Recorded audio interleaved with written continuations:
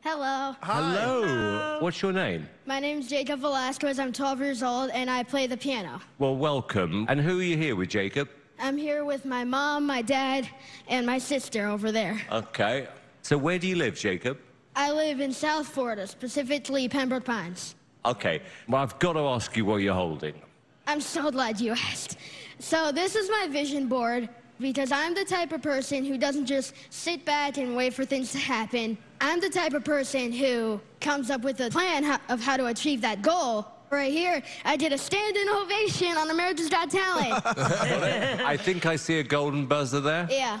That's you. I do these vision boards all the time. I think they're really important. Can I say one more thing? Yes, of course. Um, I want to be on America's Got Talent to show people that just because you have some kind of disability or some kind of diagnosis doesn't mean you aren't capable of great things. When you say that, is this something you've gone through?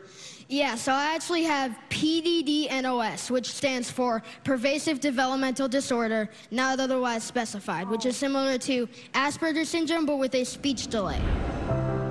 PDD-NOS affects my brain, and because of that, I actually think very literally. I think differently than the way other kids think. I have had people at school call me weird. I do have a few friends, but, you know, I wish I could have, like, more Music has definitely helped me, especially with expressing my emotions with my piano.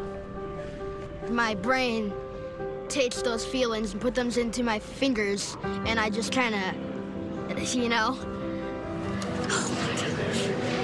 I can't believe I'm going out there performing.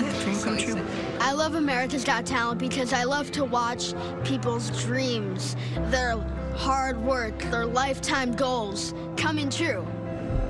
But for right now, I just have to perform for the judges, and no matter what happens, I feel like I'm going to be always going for my dream.